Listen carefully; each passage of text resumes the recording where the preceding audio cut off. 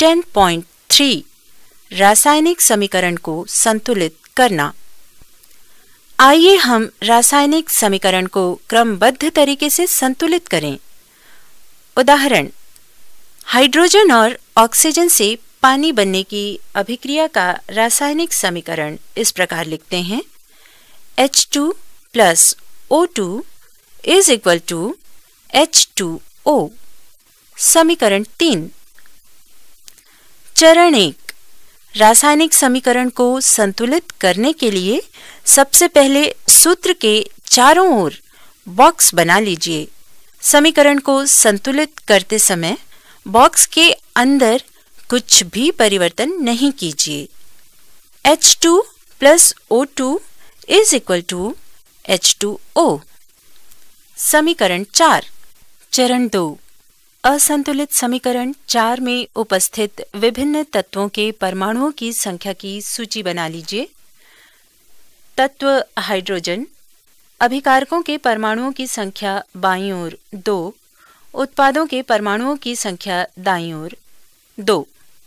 तत्व ऑक्सीजन, अभिकारकों के परमाणुओं की संख्या बाईं ओर दो, उत्पादों के परमाणुओं की संख्या दाईं ओर एक।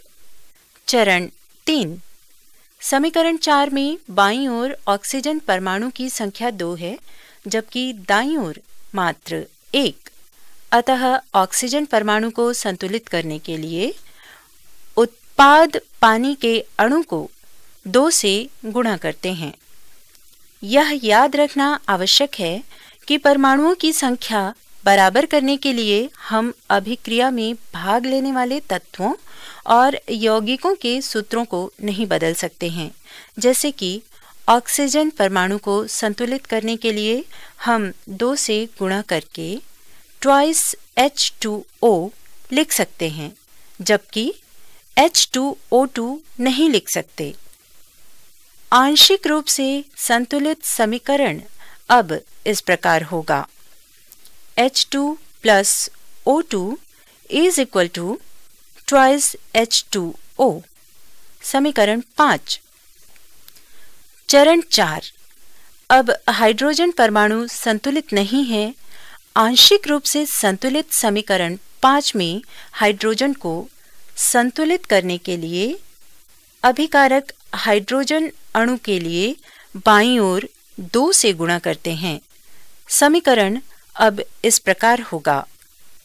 Twice H two plus O two is equal to twice H two O समीकरण छ अंत में इस संतुलित समीकरण की जाँच के लिए हम समीकरण के दोनों ओर के तत्वों के परमाणुओं की संख्या की तुलना करते हैं। Twice H two plus O two is equal to twice H two O संतुलित समीकरण समीकरण सात. इसी तरह से आप दिए गए समीकरण को संतुलित कीजिए। M G plus O two is equal to M G O समीकरण आठ. आइए कुछ और अभिक्रियाओं के उदाहरणों को लेकर समीकरण को संतुलित करना सीखें। N2 plus H2 is equal to NH3 समीकरण 9 चरण एक रासायनिक समीकरण को संतुलित करने के लिए सबसे पहले सूत्र के चारों ओर बॉक्स बना लीजिए। ध्यान दें कि समीकरण को संतुलित करते समय बॉक्स के अंदर कुछ भी परिवर्तन नहीं करना है। N2 plus H2 is equal to NH3 समीकरण 10 चरण दो, असंतुलित समीकरण में उपस्थित विभिन्न तत्वों के परमाणुओं की संख्या की सूची बना लीजिए। तत्व नाइट्रोजन, अभिकारकों के परमाणुओं की संख्या बाईं ओर दो, उत्पाद के परमाणुओं की संख्या दाईं ओर एक। तत्व हाइड्रोजन अभिकारकों के परमाणुओं की संख्या बाईं ओर दो, उत्पाद के परमाणुओं की संख्या दाईं ओर तीन। चरण तीन, समीकरण के बाईं ओर नाइट्रोजन परमाणुओं की संख्या दो है, जबकि दाईं ओर मात्र एक। नाइट्रोजन को संतुलित करने के लिए उत्पाद अमोनिया के अणु को दो से गुणा करते हैं। आंशिक रूप से संतुलित समीकरण अब इस प्रकार होगा। N two plus H two is equal to twice N H three आंशिक रूप से संतुलित समीकरण। समीकरण 11 चरण चार। हाइड्रोजन परमाणु अब भी संतुलित नहीं है।